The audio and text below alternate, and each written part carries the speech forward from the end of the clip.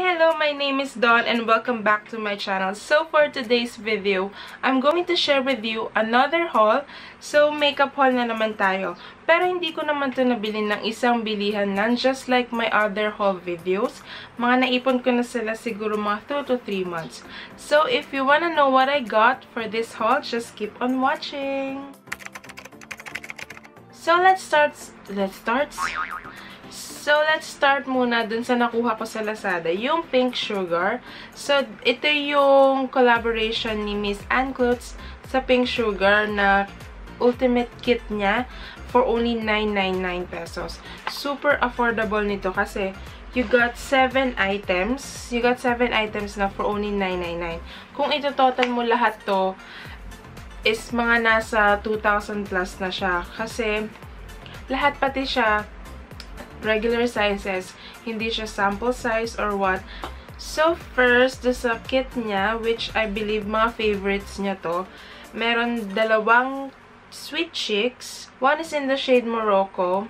So, ang cute ng mga packaging nila, no, ng pink sugar. So, yung Morocco, this is what it looks like. Super liit lang niya. And perfect siya for traveling kasi you can just put it in your makeup bag and go, ba diba? So, ito yung Morocco. It's a perfect contour or bronzer. And ganyan na siya. And it has a mirror then as well. So, yung next is Sweet Cheeks then in the shade Miss Independent. So, same then.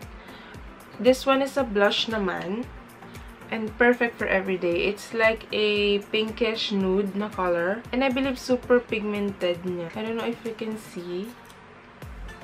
Ayan, ang pigmented, diba? Perfect for everyday lang yung shade niya. I haven't tried anything from yung pink sugar na binili ko.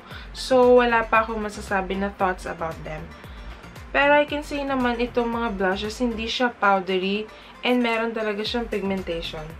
I haven't swatched pala yung Morocco, so swatch natin. So, ito yung swatch ng Morocco. Sorry for my swatches, hindi ako masyado magaling mag-swatch. Anyway, yan, perfect contour shade lang siya. And hindi siya masyadong harsh tingnan. So, yan. I love it. Can't wait to try them. Next one sa kit is the Eye Candy Eyeshadow Quad in the shade Tiramisu. So, it looks like this. So, quad lang siya. And when you open, so yeah, meron lang siya, meron siyang uh, sponge applicator, which I don't really use at all. So, meron tayong dark shade here, then dalawang brown shades, and meron tayong lighter shade. So, it has a perfectly good size mirror. Next one in the kit is the Honey I'm Good Eyebrow Gel. It's in the shade Taupe. Ang cute ng mga packaging ng pink sugar. Nakakahinayang itapon. Anyway, ito yung Honey I'm Good Eyebrow Gel. Let's see yung inside. So, ito yung itsura nung eyebrow gel. Perfect lang siya sa eye... Mascara si ate. Sa eyebrows. Maliit lang siya. Then, next is, meron ding eye candy all day liner in the shade, I believe it's black. Wala nakalagay na shade, pero sa packaging naman, it's black. So, it's a pencil liner. So, swatch natin. Super black niya. As in. And ang creamy niya. Hindi siya yung dry. Next one is the Sugar Tint Lip and Cheek Tint in the shade Slay. So, I haven't tried yung mga sugar tints nila. So, this is what it looks like. Medyo pinkish siya. Let's watch it. Ang gulo ng swatches ko. Huh? Ang bango! Ang bango niya. This is the shade. Ganda. I don't know lang kung pwede siya sa cheeks din. Para kasing ang consistency niya is liquid lipstick. Ang super bango niya. Smells like candy. Then, lastly, dun sa kit is a pink sugar creamy matte. So, it's in the shade Hot Mess. So, this is what it looks like. Ganun din, perfect for everyday din. And makikita mo agad yung shade niya dito. And I think pareho sila. Um, pareho sila ng color nung nasa labas as well as dun sa lipstick itself. This is good kasi pag nakastore lang siya sa vanity mo, makikita mo agad kung ano yung gusto mong shade for that day, di ba? Madali mong makikita Kasi meron siya dito. So, let's watch, and let's smell. Ito medyo hindi ko ma-distinguish yung smell. Pero hindi naman siya gan... Hindi naman, it's not a bad smell. So, let's swatch it. Ngayon ko lang ini-swatch talaga itong mga to. So, it's another everyday perfect shade. So, that's it from Pink Sugar. I don't know lang kung meron pa nito ngayon sa Lazada. Pero I think wala na siya. And I'm so glad na nabili ko siya for only 999 pesos. So, let's proceed naman dun sa nakuha ko from Pop Culture. So, sa Trinoma yon Meron lang ako nakuha three things. So, first I got is the Lucas Papao Ointment. So, ito, ginagawa ko siyang lip balm. Pero nakalagay dito, it's a topical application for boils, yung mga insect bites, so nappy rash, sa mga rashes. Pero perfect din siya for a lip balm. Na, nakita ko to kay Miss Simply Rays. So, lagi niya itong ginagamit for her lips. So, I got this for only 350 pesos lang. Unlike sa other online shops na nakikita ko, medyo nagiging pricey siya. Nakikita ko is 500 plus or nasa 600 pa nga yung iba. And I use this quite a lot. As you can see, medyo payat na siya. Ginagamit ko to um, before going to bed kasi I really have dry lips. As in, nagcha-chop chop siya sa gitna dito. Nagcha-chop siya sa inner part yung namamalat as in. So, pagkagising ko sa umaga, ang ganda na ng lips ko as in soft na siya, hindi na siya dry. And maganda na gumamit ng mga liquid lipstick. Next is yung Real Kill sunblock with makeup base from R.A. Nguburi or Ra Nguburi. So, it's a Korean brand. So, I got this for only 480 pesos. So, it's a sunblock plus makeup base na siya. So, parang primer. I use this every day, as you can see din. Gamit na gamit to. I love this for everyday kasi nga, sunblock na siya as well as primer. Usually naman, hindi naman ako nagamit ng foundation on a daily ano lang, BB cream or AA cream. So, okay na to as a makeup base. And may SPF 50 plus plus plus pa siya, ba diba? And yung consistency niya is a cream. Creamy yung consistency niya. It's not like other primers na silicone base. Para na rin siyang nagiging moisturizer for me. So, lastly na nakuha ko from Pop Culture is the Milani Make It Last Setting Spray. So, as you can see, I've been using this quite a lot. And it da, it does. And it does make my makeup last. Pero hindi yung kiniklaim niya na 16 hours. No. Hindi naman kasi ako nagsusuot ng makeup for that long. Siguro mga 4 to 6 hours with my oily skin. Medyo napipigilan niya yung pagka-oily ng skin ko pag ginagamit ko to lalo na sa cheek area. Kasi sa T-zone talaga, hindi talaga may iwasan na super oily na pagdating ng mga 6 to 8 hours. But with this, medyo nalalock in niya yung foundation. I got this for 500 pesos. I know medyo maliit siya. Akala ko ano una, malaki-laki siya. Pag nakikita ko siya sa mga videos. Pero 60 ml lang siya for 500 pesos. Anyway, it's a good product naman. So next is this aloe vera uh, Soothing Gel Mist. So, it's from Nature Republic. I got this. I forgot the price, pero nasa 200 plus siya. Same lang siya nung nasa gel type, yung nasa tub. And, pag ayaw mong mag-ano, nag-moisturizer, pwede na rin to. Actually, I use this after kung mag-toner, lalo na pag medyo na-dry yung skin ko after mag-toner. I spray this all over my face and I feel moisturized. And super affordable lang for 150 ml. So, next naman is this Cathy Doll AA Matte Powder Cushion Oil Control. So, it has SPF 50 PA+++. So, I got this for 449 Nung nakita ko to sa um, online or sa Facebook, sa Facebook page nila, akala ko they're on sale kasi yung regular price nito I believe is nasa 800 plus. Then, nakita ko doon 449 na lang siya. Then, nung pumunta ako sa stores, Watson's or sa department store, ano pala siya, mini version. Akala ko, hindi siya yung full size. Ganito lang siya kaliit.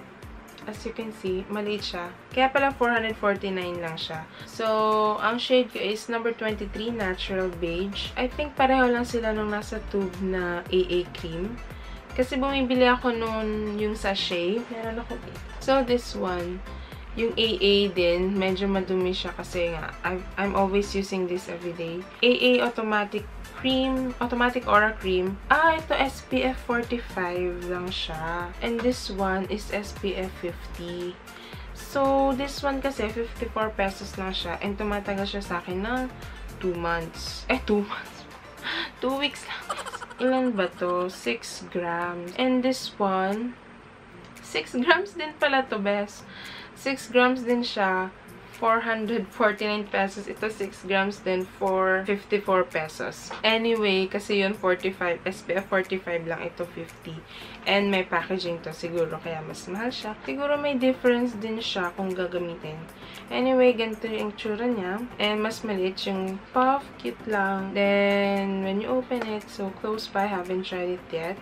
Naubos ko pa yung sachet. I don't know kung may refill nito. So, next is I got two items from Nichido. First one is the Nichido Brow Pencil in the shade dark brown. So, ito yung ginagamit ko talaga nung college ako. Dito ako natutong mag-eyebrows. So, this one is only 80 pesos lang. And, ganyan na siya, pencil. You have to sharpen it nga lang. Yun lang ang medyo hassle sa ganito, eyebrow pencil.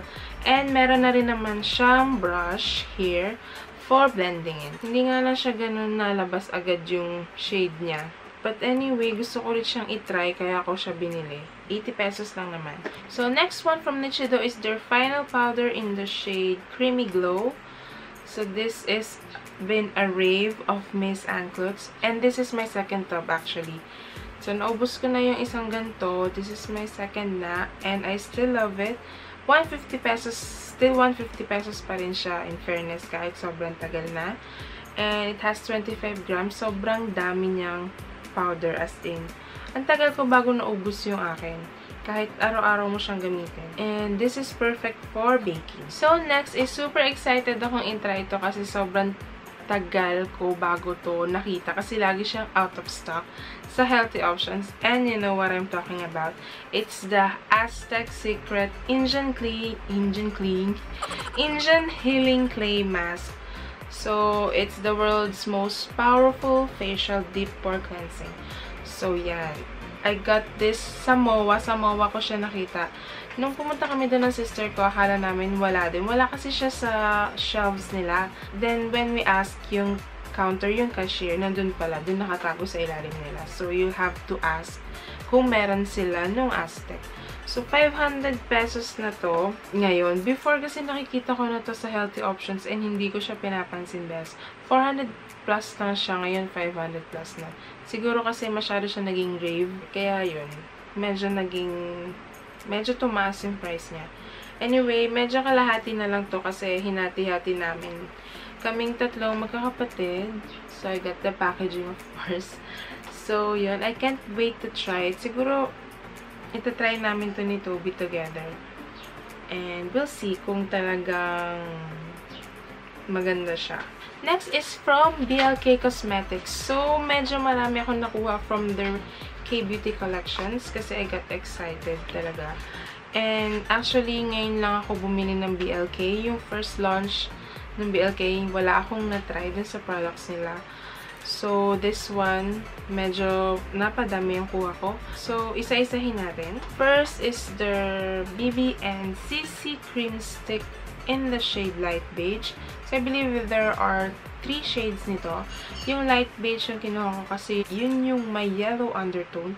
And I got this for 449 pesos. Medyo expensive siya. So, this is what it looks like. Merong brush dito sa other end. I don't think na magagamit ko to kasi medyo maliit siya. And ang hirap mag-blend best. Ang laki ng mukha ko. So, dito, nasa other side, yung foundation. Which looks like that. It has 6 grams. So, ganito. Ganito nakadami 6 grams. I don't know ha. Kasi ang unti lang niya. For 449. I haven't tried it yet. Siguro naman maganda yung quality niya. So, ganito yung tsura niya. I think yung nasa gitna yung CC cream, then BB cream yung nasa outer part. I don't know. Pero, I'm going to try this out and see. Maybe I'll do a review for this kung okay siya sa oily skin. Next is I got the BLK Cosmetics All Day Lip and Cheek Water Tint. So I got three shades. Actually, four shades to. Yung isa, hindi ko na siya nakuha. So I got the pink one, the cherry, and the orange one. So, ganito yung itsura nila. And I really love this talaga as in. So, yung una ko nabili is yung shade ng cherry. As you can see naman, kung gano'n na siya kaunti. Ang ganda niya kasi best. So, medyo na araw-araw ko siya. 2.15 grams siya. Konti lang siya for... So, for 249 pesos, medyo konti siya, ba diba? Medyo pricey siya for that content.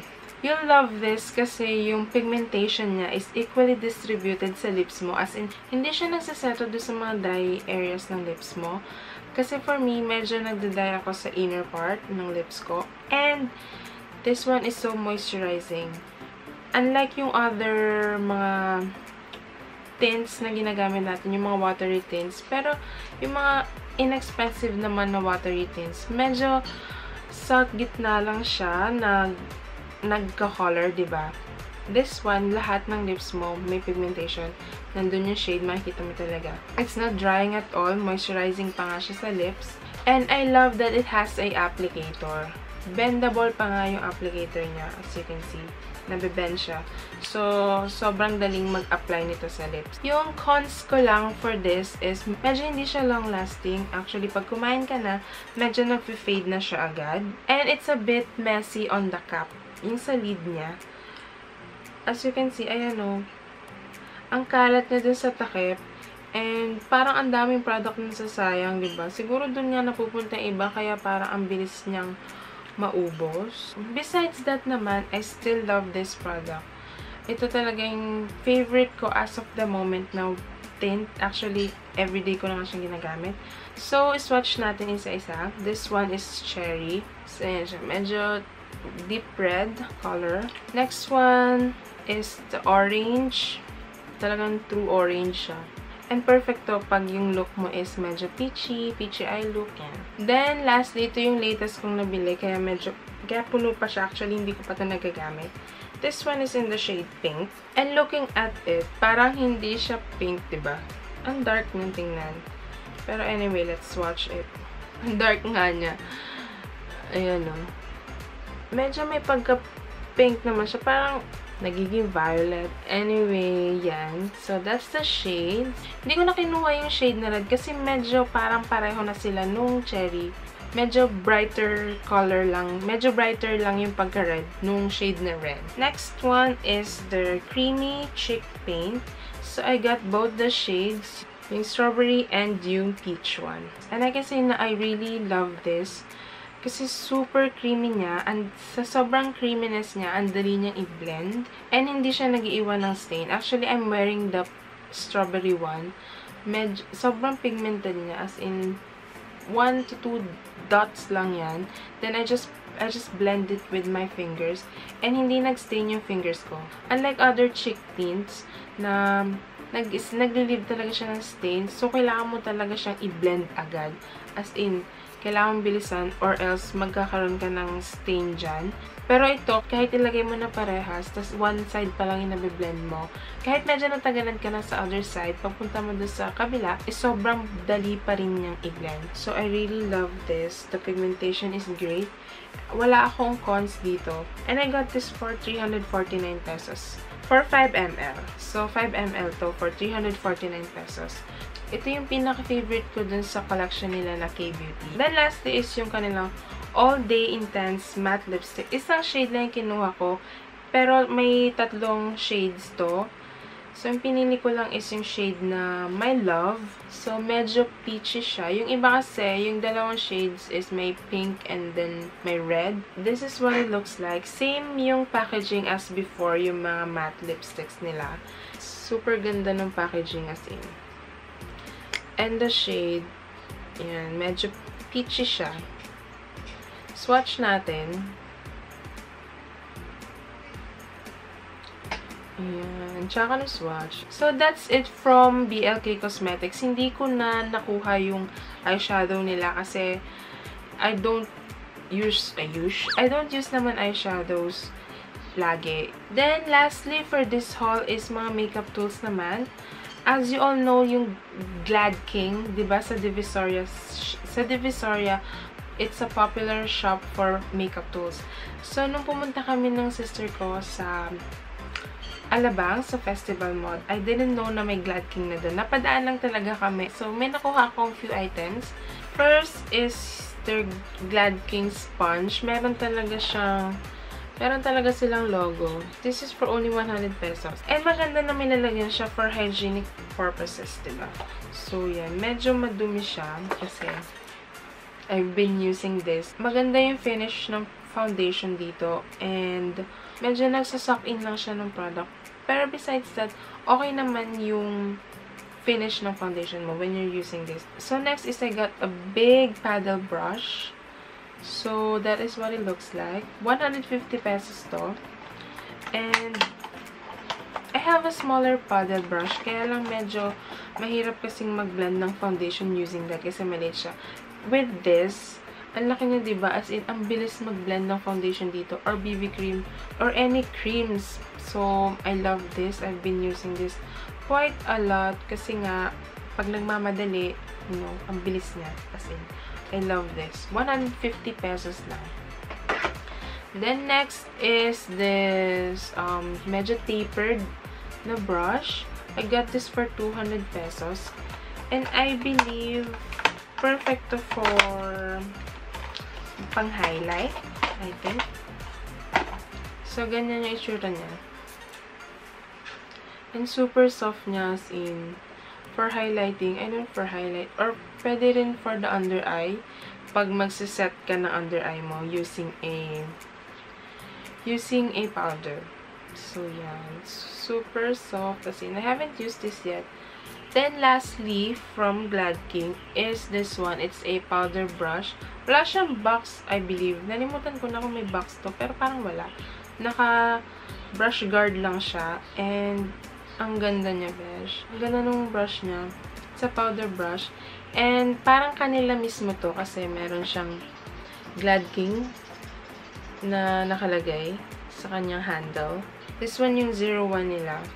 I forgot the price. Parang nasa 200 din to. Nalimutan ko na yun. Last, last month ko pa kasi ito nabili. Pero super lambot niya, besh. Ang ganda.